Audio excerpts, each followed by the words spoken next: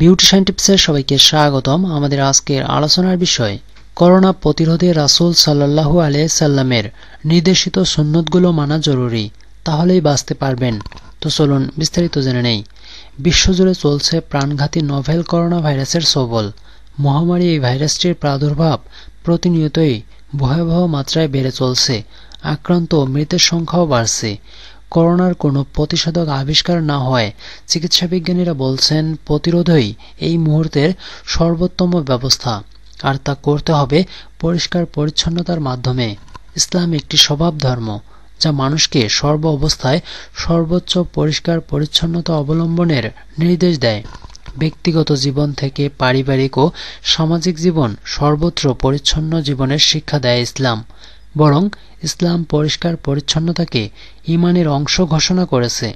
পবিত্র কোরআনুল কারিমে পবিত্রতাকে নির্ধারিত পদ্ধতিতে অর্জিত পরিচ্ছন্নতা বা দিনের অন্যতম উদ্দেশ্য এবং তাকে আল্লাহর অনুগ্রহ লাভের মাধ্যম হিসেবে বর্ণনা করা হয়েছে।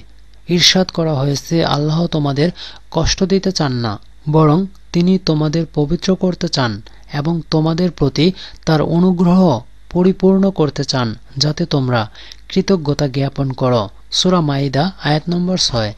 আজ আমরা মহামারী করোনা ভাইরাস তথা কোভিড নাইন্টিন প্রতিরোধে বিশ্বনবী সাল্লাহু আলাই সাল্লামের নির্দেশিত পরিষ্কার পরিচ্ছন্নতার সুন্নতগুলো নিয়ে আলোচনা করব ইনশাআল্লাহ। ইসলামী শরীয়তে মুমিনকে তার জীবনের সব পর্যায়ে পরিষ্কার পরিচ্ছন্ন থাকার নির্দেশ দিয়েছে। তবে মহানবী সাল্লাহু আলাই সাল্লামের সুন্নত ও জীবনচরিত পাঠ করলে এমন কিছু সুন্নতের খোঁজ পাওয়া যায়, যা করোনা ভাইরাস প্রতিরোধে চিকিৎসা বিজ্ঞানীদের পরামর্শের অনুকূল। এখানে তেমনই কয়েকটি সুন্নত তুলে ধরা হলো। হাত পরিষ্কার রাখা। রাসুল্লাহ সাল্লাহু আলাইসাল্লাম মানুষকে তার হাত পরিষ্কার রাখার নির্দেশ দিয়েছেন, যেন তা দ্বারা শরীরের অন্য অঙ্গ, কাপড় বা অন্যান্য ব্যবহার্য বস্তু অপরিষ্কার না হয়। আবু হুরাইরা রাদিয়াল্লাহ তালা থেকে বর্ণিত। রাসুল্লাহ সাল্লাহু আলাইসাল্লাম বলেন, যে ব্যক্তি হাত পরিষ্কার না করেই হাতে গোস্তের গন্ধ ও তৈলাক্ততা নিয়ে ঘুমালো, এতে তার কোনো ক্ষতি হলে সে যেন নিজেকেই তিরস্কার করে। সুনানে আবু দাউদ, হাদিস নম্বর তিন হাজার আটশত বাউন্ন। একইভাবে তিনি ঘুম থেকে ওঠার পর প্রথম হাত ধোয়ার নির্দেশ দিয়েছেন, কেননা ঘুমের ভেতর মানুষের হাত নোংরা হওয়ার ভয় থাকে। আবু হুরাইরা রাদিয়াল্লাহ থেকে বর্ণিত। নবী করিম সাল্লাহু আলাইসাল্লাম বলেন, তোমাদের কেউ ঘুম থেকে উঠলে সেজন্য পাত্রে হাত দেওয়ার আগে হাতে তিনবার পানি প্রবাহিত করে, কেননা সে জানে না তার হাত রাতে কোথায় বিচরণ করেছে। খাবার গ্রহণের আগে হাত ধোয়া। সালমান রাদিয়াল্লাহ থেকে বর্ণিত। রাসুল্লাহ সাল্লাহ আলাইসাল্লাম বলেন, খাবারের বরকত লাভের উপায় হলো তার আগে ও পরে অজু করা। সুনানি আবু দাউদ হাদিস নম্বর তিন হাজার সাতশো একষট্টি। হাদিস বিশারদরা বলেন, এখানে উজু দ্বারা উদ্দেশ্য ভালোভাবে হাত ও মুখ পরিষ্কার করা, শরীরে ময়লা থাকলে তা পরিষ্কার করে বসা। ইসলামী আইনজ্ঞরা এই হাদিসের আলোকেই খাওয়ার আগে দুই হাত ধোয়াকে সুন্নত বলেছেন। আর এখানে বরকত দ্বারা শারীরিক উপকারী বোঝানো হয়েছে। পরিষ্কার খাবার গ্রহণ করা। মহানবী সাল্লাল্লাহু আলাই সাল্লাম পরিষ্কার খাবার গ্রহণে উৎসাহিত করেছেন। এবং তা যেন ভালো থাকে সে ব্যবস্থা গ্রহণের নির্দেশ দিয়েছেন জাবির ইবনে আবদুল্লাহ রাদিয়াল্লাহ থেকে বর্ণিত। আবু হুমাইদ রদিয়াল্লাহ এক বাটি দুধ নিয়ে এলেন। রাসুল্লাহ সাল্লাহ আলহাম তাকে বললেন, এটি ঢাকলে না কেন? একটি কাঠি দিয়ে হলেও ঢেকে রাখা দরকার। নখ ছোট রাখা। ইসলামী শরীয়তে সপ্তাহে অন্তত একবার নখ কাটা সুন্নত বলা হয়েছে, যেন নখের মধ্যে কোনো জীবাণু আটকে না থাকে। শুধু নখ নয়, জীবাণু আটকে থাকতে পারে। শরীরের এমন সব অঙ্গই পরিষ্কার রাখার নির্দেশ দেওয়া হয়েছে। মহানবী সাল্লাহু আলাইসাল্লাম বলেন, দশটি কাজ মানুষের স্বভাব সুলভ। এক, গোফ কাটা। দুই, দাড়ি ছেড়ে দেয়া। তিন, মিসওয়াক করা। চার, পানি দিয়ে নাক পরিষ্কার করা। পাঁচ, নখ কাটা। ছয়, আঙ্গুলের জোড়াগুলো ধোয়া।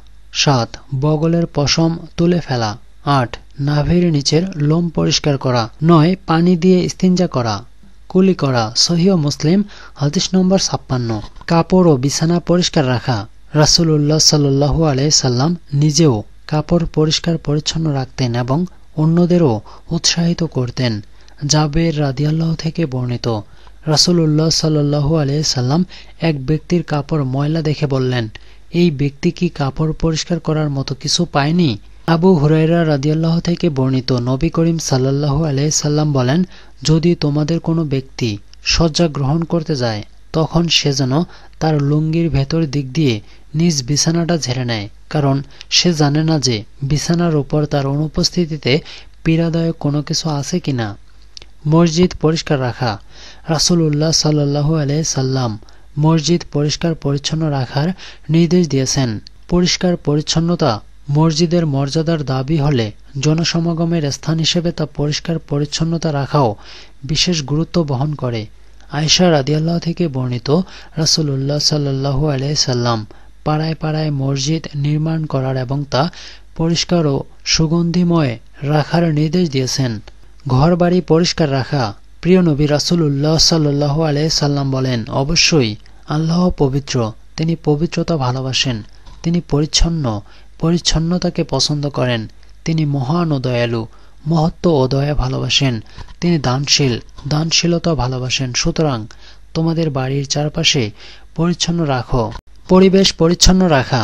পরিবেশ পরিষ্কার পরিচ্ছন্ন রাখতে মহানবী সাল্লাহ আলাইসাল্লাম যেমন রাস্তাঘাট ও জনসমাগমের স্থানে ময়লা আবর্জনা ফেলতে নিষেধ করেছেন তেমনি কেউ তা ফেললে অন্যদের পরিষ্কার করতে উৎসাহিত করেছেন আবু হুরাইরা রাদিয়াল্লাহ থেকে বর্ণিত। রাসুল্লাহ সাল্লাহু আলাইসাল্লাম বলেন, তোমরা দুই অভিশপ্ত কাজ থেকে বেঁচে থাকো। তারা বলেন, হে আল্লাহ রাসুল, দুই অভিশপ্ত কি? তিনি বললেন, যে মানুষের চলাচলের পথে বা তাদের বিশ্রামের স্থানে মলমূত্র ত্যাগ করে। সহিহ মুসলিম হাদিস নম্বর আটষট্টি। অন্য হাদিসে তিনি বলেন, ইমানের সত্তরের বেশি বা ষাটের বেশি শাখা রয়েছে। তার মধ্যে সর্বোত্তম হল, লা ইলাহা ইল্লাল্লাহ বলা এবং সর্বনিম্ন হল। রাস্তা থেকে কষ্টকর জিনিস সরিয়ে ফেলা, পরিষ্কার পরিচ্ছন্ন হয়ে মসজিদে যাওয়া। রাসুল্লাহ সাল্লু আলাইসাল্লাম বলেন, তোমাদের কোনো ব্যক্তি উত্তম রূপে অজু করে শুধু নামাজ আদায়ের জন্য মসজিদে রওনা হলে মসজিদে পৌঁছা পর্যন্ত তার প্রতিটি পদক্ষেপের বিনিময়ে আল্লাহ তালা তার জন্য এক ধাপ করে মর্যাদা বৃদ্ধি করেন এবং তার একটি গুণহ মাফ করে দেন। হাঁচি, কাশি ও হাই তোলার শিষ্টাচার রক্ষা করা। হাঁচি, কাশি ও হাই তোলার শিষ্টাচার হল অন্যদের থেকে মুখ ফিরিয়ে নেয়া, মুখে হাত বা কাপড় দেয়া। হাঁচি দিলে আলহামদুলিল্লাহ পড়া এবং হাই তুললে লাহাউলা পড়া।